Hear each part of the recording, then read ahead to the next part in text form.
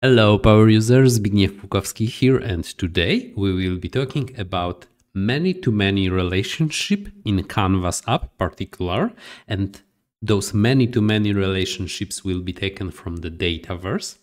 Those relations are hidden from the user so regular patch won't work when you try to create those relationships or you try to either link or delink those records you have. So this is quite interesting topic and it's hard to understand at start. So keep your focus. Let's start. Zbigniew Łukowski in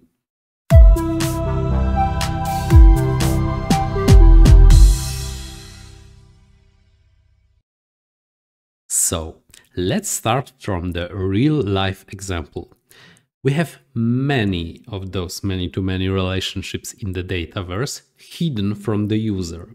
There are two types of, uh, of working with relationships.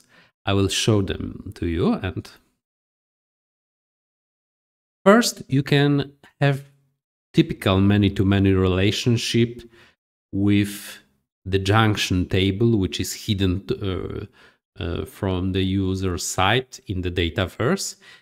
So when you create, create those relationships by create relationship in the Dataverse, there will be automatically created a form of table in the middle. So this is how you can work with the many-to-many -many relationships. And in the um, B example, you can create a middle table which will hold one-to-many and many-to-one relationships. And when I was working with Salesforce, Salesforce, there is a quite, I think, easy example to, to show you this. We have orders and products which we are ordering in the store. So table one is order with order name, with with all the products, etc., etc. And in the table two, we have the products. So the products can have ID, can have name. And when we create the order, we actually create many of the order lines. In each order line, we have order ID, which will show us from which order it is the order line. And we have product ID, which will show us from which table the product is in. So in this table line contains product ID, order ID, and can display, for example, product name, can display the price, can display the quantity, can can multiply quantity by the uh, by the price and mm, give order line total and the total of order lines total will give you the sum of the order, which will be kept in the table one. So this is an example how you can do it. This is actually a little bit complicated because you need to create a table in the middle.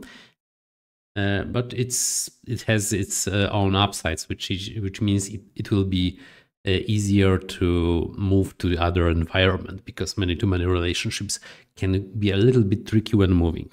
But we will use the A uh, example here uh, because some parts of the Dataverse systems have many-to-many -many relationships made by default. And I will just show you one of them, which I actually use in my app. This is an option how you can create users sorry, how you can relate users in your Canvas application. So I will choose my user. This is Zbigniew Łukowski. I will add the security role, which I've created earlier, to my user. And when I click this user, I will press remove button, which will remove this, uh, this security role from my users. Let us go to the Dataverse now in the Dataverse, I'm in the user, hop, hop, hop. I'm in the user table. In this user table, when you click the schema part and the relationships, you will be transferred to the relationships. As you can see, there are many, many multiple one-to-many relationships. Oh, those are hundreds of them, but there are some many-to-many, -many, five. If I found five, but two will be uh, especially, especially important, which is user and security role and user team. So we will, in this example, we will work with the security role and user. As you can see, this is this table has its own schema name. It's great, but we cannot. If we if I click on this, I cannot go to the related table because it's hidden. It's hidden by by the system. So what I can do, we have a relate and unrelate function. And this function is working like this. I'm able to relate uh, with the relate my table when I choose the the part of this table which is responsible for relation. And I'm relating to this, this particular table a record. So this record will be then added to the part of the first table which is connected to, to the second table. And I will give you now the, the appropriate example. In here, I'm using the relate function. So the, this is the relate function. And is, as you can see in the prompt, this is this have two arguments. First, I need entity1 related table, and then I need entity2 record. So I will start with the roles and try to relate a certain user for it. For the user, I'm using the what is selected in my combo box already.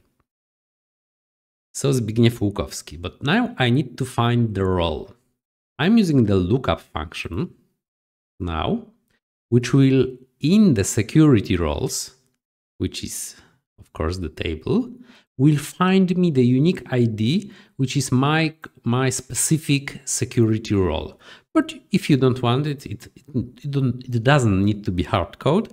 You can use uh, another combo box to select the user role which you need. And then by, on it, by this, it will also grab the GUID and give you the specific uh, record. Because if you highlight this, you can see that this is record. Great. The data is not visible. Oh well, but you have the record. So what happens now if you, after you found find this record, press the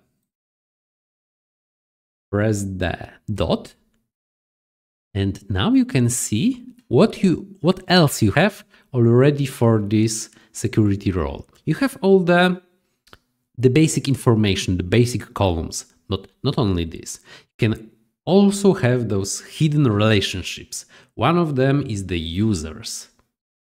So the users will not give you a record now. These users, pressed by the dot, will give you the table.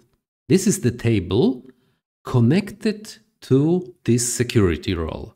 So if I have my security role, the name doesn't matter with this GUID, I know which users are already connected to this role. So if I will, will be creating a gallery from this, it will actually point me all the related users. So if I have three users, I will have three rows in my gallery. So this part is actually what is called in this relate function entity1 related table. So we have found what is the most important in these related functions. Now we want to, to find the entity2 record, so record from the users, and this is the, the next part. This is the lookup when I create uh, when, when I'm searching for the record for the Zbigniew Łukowski record. Under the hood, we will also have the GUID from this, all the information to just relate those. So if I press this button, it will grab me this code and just do the action relationship. Then sadly, here I have I have my variable, which I've created from from from the um, the first part. So from the security roles of my specific role and the users.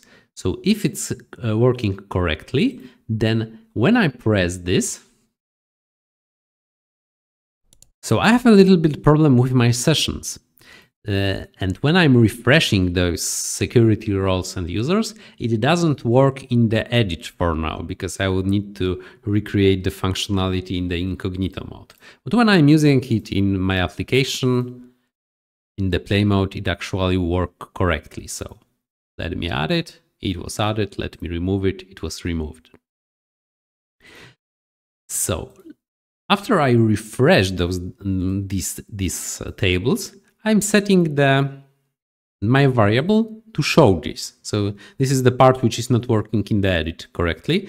It may be a problem from time to time. And uh, if you have this problem, just test it in the play mode. I really encourage you to test the properly because many to many have a little bit of problem with the edit. As you can see, we also give, get the warning that that one to, uh, to many or many to many relationship is being referenced and this can impact performance. So this will impact performance in the edit mode and won't, won't be uh, recreated correctly.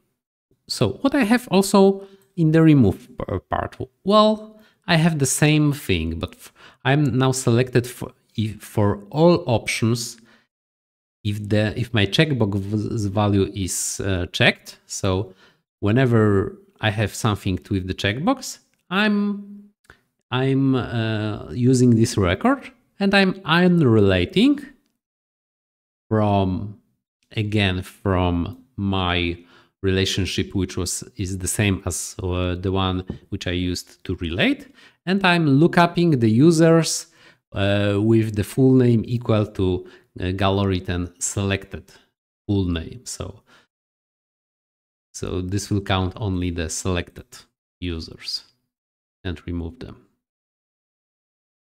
Oh. Ah, this is annoying. Sorry, I have to do it in the play mode. Yeah. So this is it. This is how you work with the with the relate and unrelate function. This is the first part. How can you show in a gallery what you have related and unrelated in your uh, in your many-to-many relationship because viewing is also a problem. So let me create a vertical gallery. In this vertical gallery, let me uh, in the items use the users. So I want to select all the users and see all their security roles which they have. So this is the uh, the many-to-many relationships which we have. Hmm, let me create the font weight. This will be bold. And this will be semi-bold. In here, in here, I want in the items. Mm -hmm.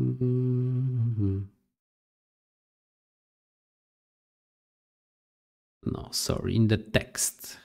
This will be actually a text of course because it's labeled. So I don't want this item title. I want this item security roles. And there are many tables connected so I want to look for system user roles association which will hold the names of my security roles after the dot. Dot name? Or is it already? No, okay. Let me now concatenate this.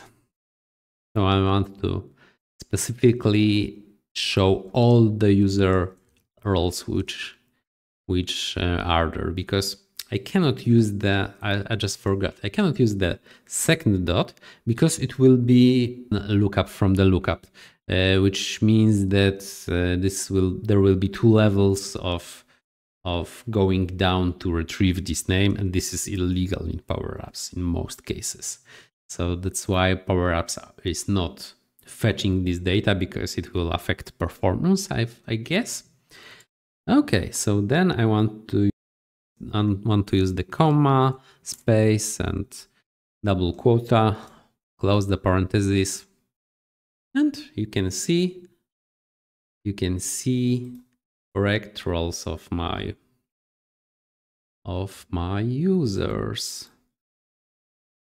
Uh, what else can I do if it's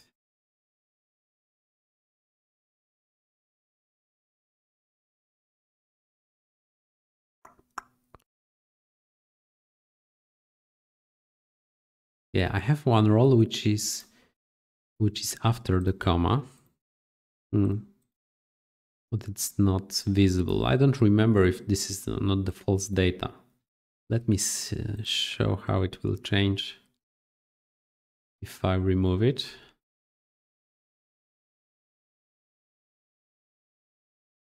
Yeah. If I add it, you can see that this one was added here, but the name is not visible because there is probably not enough space for this.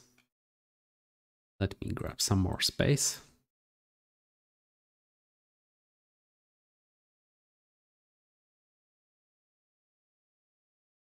Yeah, this is one. This is my my application uh, custom role. This is in Polish, so doesn't matter for for you. Okay, so this is how it works. So I've uh, shown you how to use the relate unrelate how to view those uh, those many-to-many relationships in the gallery. I already told you why patch is not working because it only patches the record and not the relationship which is underneath, uh, not visible. I, sh I show you how to grab this this um, relationship in the lookup function and now you know how to work with relate and unrelate. So I've made a, made a lot of effort to create this uh, video. So if you liked it, you can like, sub, you can watch my other content. I have 100 other power apps videos about different topics and this will all be pure knowledge. So Zbigniew Łukowski out. See you soon.